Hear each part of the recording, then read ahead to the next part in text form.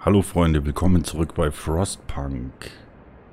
Wir sind mit wenig Hoffnung, mittlerer Zu Unzufriedenheit gerade dran, irgendwie das Beste noch rauszuholen.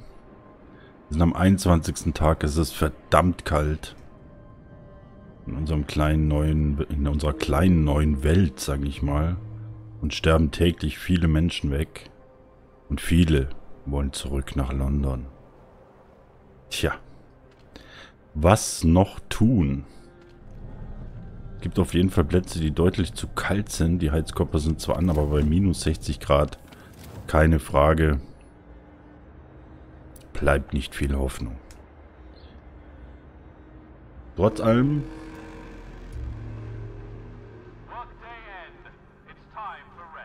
Genau. Der Tag der Arbeit ist vorbei. Wir haben... Hm. Haben wir denn als letztes gebaut? Ich glaube, die Türme sind wir gerade am Demontieren. Mal sehen, was danach passiert. Hier wird ein Krankenhaus gebaut.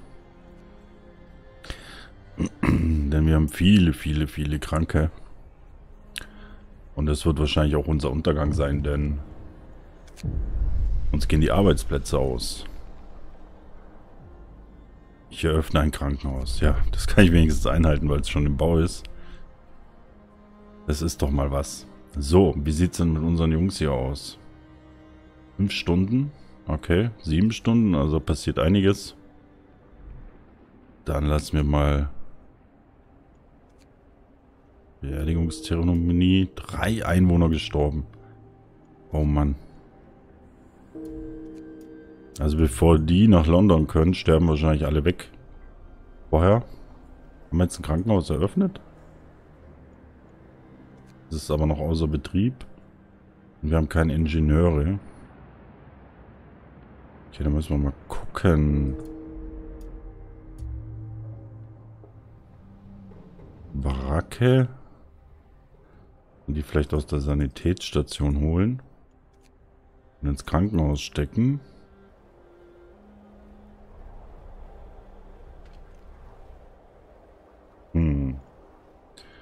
Ich bräuchte Ingenieure.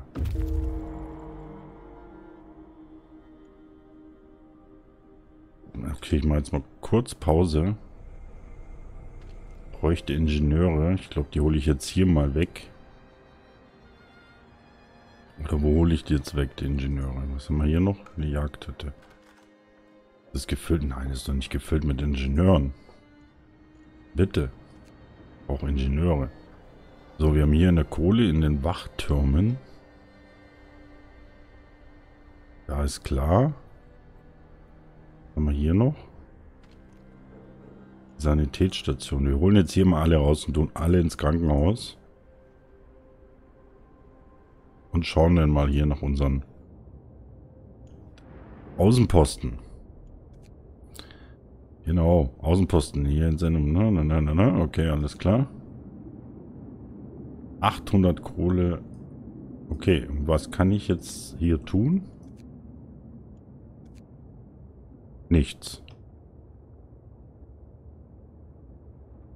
Ach, ein Außenposten-Team.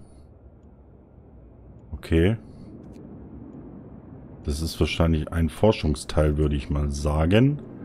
dann schickt man die halt hier hin. Mann, das ist hart. Noch einen ganzen Tag. Da haben wir ziemlich viel Zeit verschwendet hier.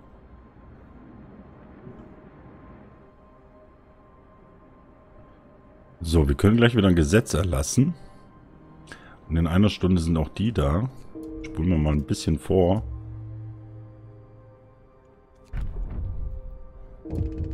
So. Drei Einwohner sind gestorben, ja. Wer sind angekommen? Wir kümmern uns kurz um Nahrungsdiebstahl. Wachen sollen sie fassen. So. Wir schauen jetzt mal. Kolonie der Vertriebenen.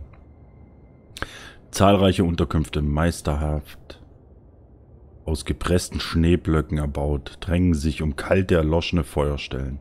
Eine tödliche Stille liegt über der Kolonie. Oh, wir haben Überlebende gefunden. Sterbende Vertriebene. Einige der Vertriebenen geben noch Lebenszeichen von sich. Wir können versuchen, sie zu unserer Stadt zu bringen. Allerdings könnten sie unterwegs sterben. Einer der Sterbenden hielt ein Tagebuch an seine Brust gedrückt. Wir haben den letzten Eintrag gelesen.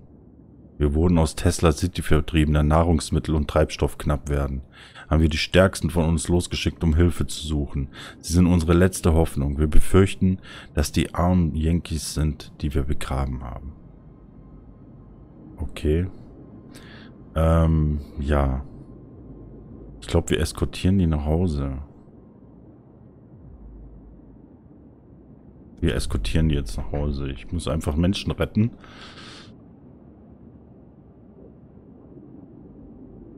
Wir haben die sterbenden Vertriebenen aus ihren Schneehütten geholt und für die Reise in unsere Stadt vorbereitet. Einige erwachten aus ihrem todesähnlichen Schlummer und segneten ihre abwesenden Freunde dafür, dass die Hilfe geholt hatten. Wir konnten ihnen nicht die Wahrheit sagen. Noch nicht. Okay, ja, das wird wahrscheinlich das Lager der Amerikaner gewesen sein. Ähm, das da dahin gerafft war und nur Tote da waren. Werden jetzt trotzdem... Wachen waren erfolgreich, sehr schön. Werden die jetzt trotzdem zu unserer Stadt bringen. Und hoffen, dass die auch ein bisschen Hoffnung wieder reinbringen. Hm, wir werden erstmal ein neues Gesetz noch erlassen. Was haben wir denn hier noch? Ein Wirtshaus wäre doch was, oder? Neue Gebäude, Wirtshaus. Einwohner im Wirtshaus besuchen sind weniger unzufrieden. Die Hoffnung steigt leicht an. Duellgesetz tödlichen Bedrohungen ausgesetzt sind, können im Duell gelöst werden. Unterzeichner Unzufriedenheit wird dauerhaft verringert. Jedes spontane Duell verringert die Unzufriedenheit etwas. Manchmal sterben Einwohner bei dem Duell. Okay. Ich glaube, das würde ich unterzeichnen.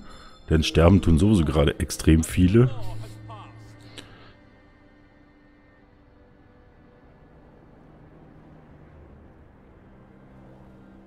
Und ja, was soll ich machen, ne? Klar ist es ein Spektakel, das uns ein bisschen ablenkt. Aber... Oh. Außer Betrieb, weil zu kalt. Okay, das verstehe ich. Die Londoner gewinnen zusätzliche Anhänger. Ich müsste das Krankenhaus irgendwie näher bauen oder endlich irgendwas erforschen, ähm, was mich ein bisschen oder was zusätzliches bauen. Ich werde jetzt was zusätzliches bauen. Um das zu heizen. So, ein Dampfkern. Wo könnte ich den... Ah, den könnte ich hier hinbauen. Werde ich jetzt hier hinbauen. Ähm, dass wir wenigstens das Krankenhaus heizen können.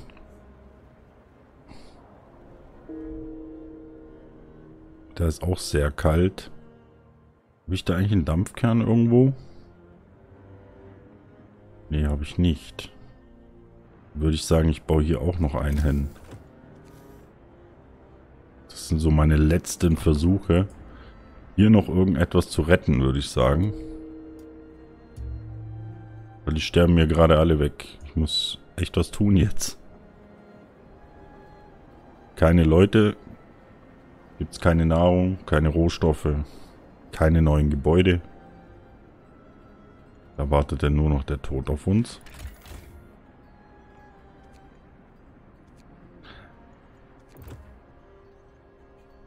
Müsste ich mal genauer anschauen, die, äh, die Wirtschaft.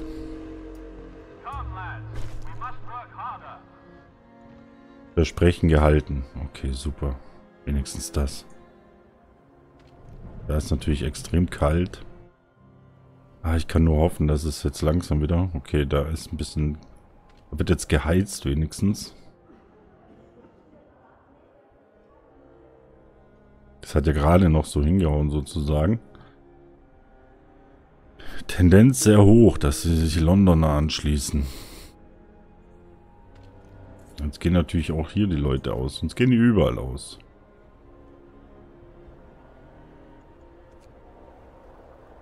Okay, wir lassen mal schneller laufen. Generatoreneffizienz erhöht. Okay. Technologie, ähm, Überlastungskopplung, Dampfzentren, Reichweite, verbesserte Heizkörper. So. Okay, die Effizienz ist jetzt ein bisschen besser. Das bedeutet, der verbraucht ein bisschen weniger.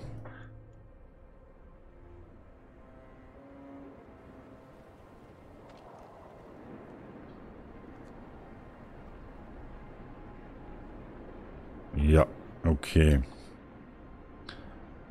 Hier ist natürlich überall sehr, sehr, sehr kalt. Ich hoffe, ja. Wir gehen zwei. Okay, es geht zwei Stufen wieder runter. Oh, bis dahin müssen wir irgendwie durchhalten. Das werden wir auch schaffen. Bis dahin halten wir auch durch.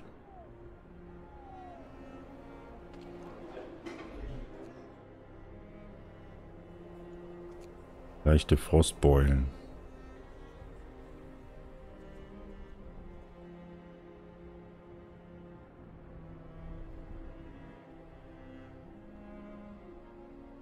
Hinten ist auf jeden Fall noch ein Kern. Ah, okay.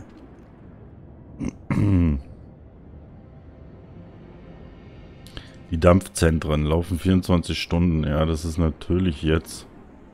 Wie gesagt, ich kann nur hoffen, dass äh, die Leute jetzt dann gleich kommen und dass wir gleich wieder ganz viel Kohle abbauen können.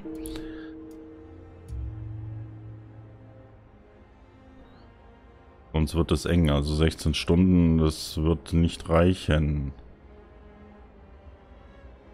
Und dann fällt unser Generator aus.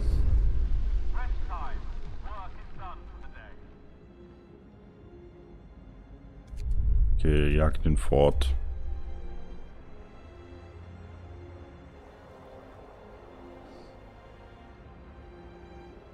Also ich brauche auf jeden Fall Kohle gerade.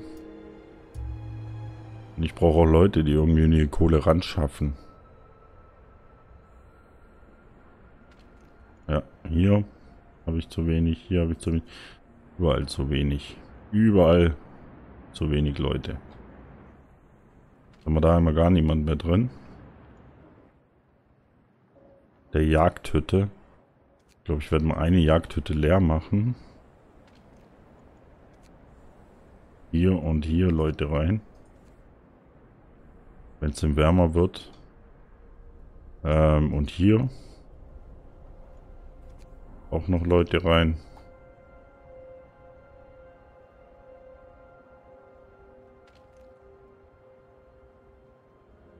Ich glaube, eine Station werde ich jetzt abbauen.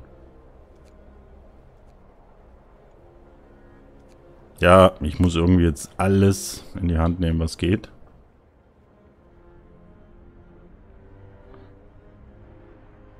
Was uns ein bisschen retten kann. Drei Stunden ist einfach zu wenig.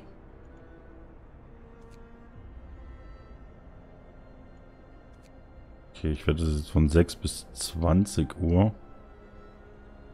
Unzufriedenheit steigt. Ich werde jetzt eine Notfallschicht einlegen.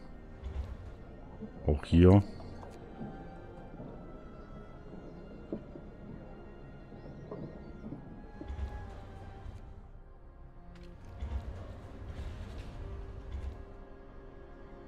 Das hat uns viel Unzufriedenheit gekostet. Aber unsere Generatoren müssen einfach weiterlaufen. Ich kann jetzt mal die Wärmekamera anmachen.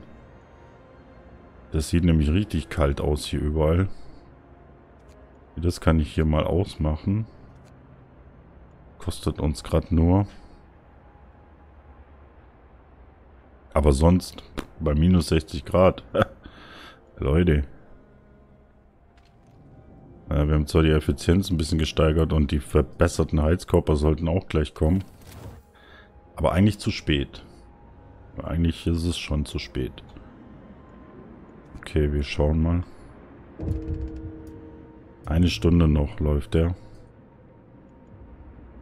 Okay, ich muss den jetzt runterschalten.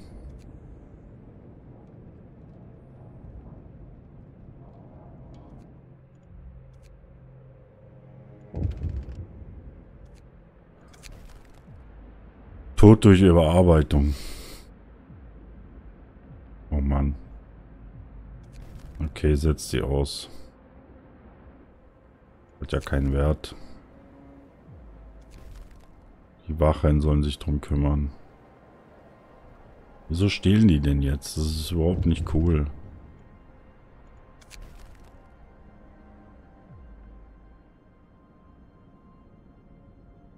Okay.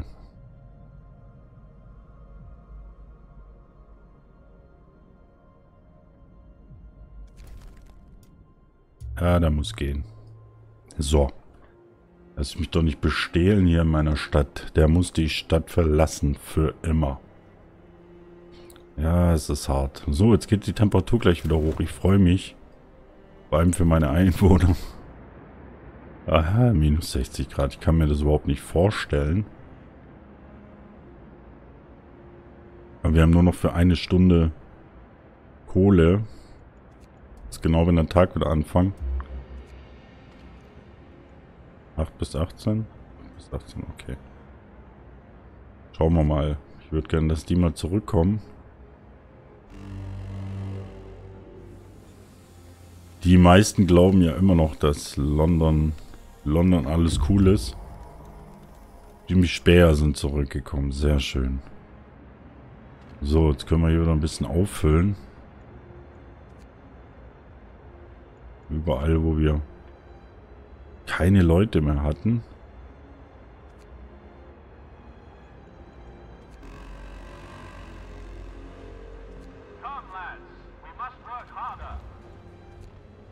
So. Ähm, hier in den Türmen auch.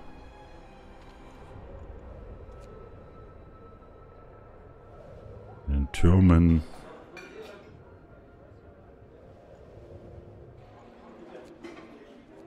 Okay. Okay, die warten jetzt. Wir müssen jetzt erstmal die Heizung hier anmachen. Uiuiui. Ja, da ist man, wenn man zu schnell am Mausrad dreht, ist man gleich raus aus der Stadt. So. Sehr schön. Verbesserte Heizkörper haben wir erstellt. Oh, das ist zu kalt. Okay. Hier. Auch viel zu kalt. Okay, lass mal die an. Das ist schon gut so. Den können wir auch anmachen. So. Verbesserte Heizkörper. Das heißt, wir müssen gleich weiter forschen. Keine Zeit zu verlieren. Erkundung. Was haben wir denn hier? Aha. Was haben wir für Prick? Eine Anlage, die Automatone und andere fortschrittliche Geräte produzieren werden können. Okay. Rohstoffe. Dampfkohlegenerator. Müsste erstmal wahrscheinlich das hier machen, aber ich habe keinen Stahl aktuell. Okay. Essen ist gerade nicht unser Problem. Ich denke, wir werden jetzt erstmal das hier machen, dass sie schneller erkunden können. Und die dann mal ins Fischerdorf hier schicken.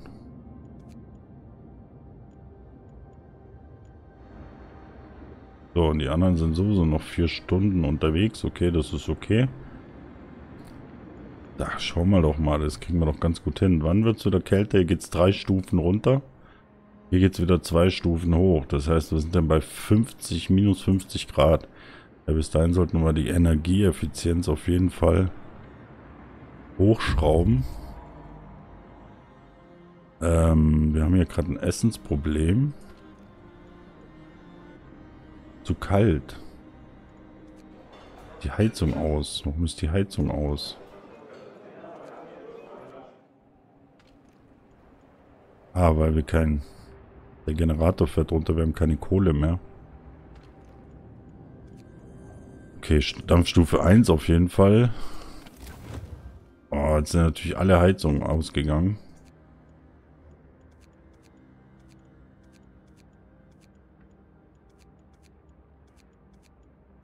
Ganz schnell alle Heizungen wieder an. Okay. Sollte jetzt wieder alles laufen soweit. Wir werden jetzt aber schnell hier schauen. Die warte nämlich. Eine heiße Quelle tief unter der Erde sorgt dafür, dass mehrere Teiche nicht zufrieren. Widerstandsfähige Flechten klammern sich an den nackten Felsen an ihren Ufern. Das hier scheint ein guter Ort für ein Versteck zu sein. Preis des Überlebens. Wir haben bei den Frischwasserquellen einige Flüchtlinge aus Winterheim aufgefunden. Sie bieten einen traurigen Anblick und das Schicksal ihrer Stadt scheint sie völlig kalt zu lassen. Wenn man sich fragt, wie sie die Hungersnot überlebt haben, weichen sie unseren Blicken aus und murmeln etwas von Flechten, die sie gegessen hätten. Okay.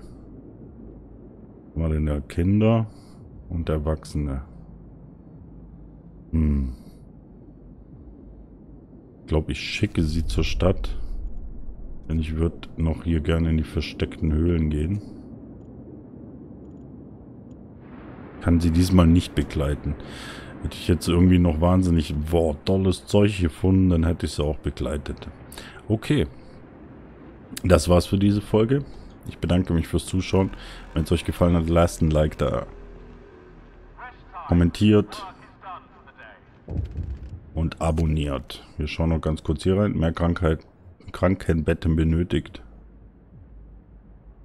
Okay, ich werde versprechen. Okay, gut. Wieder mal ein Versprechen. Mal sehen, ob wir es halten können. Vielen Dank und tschüss.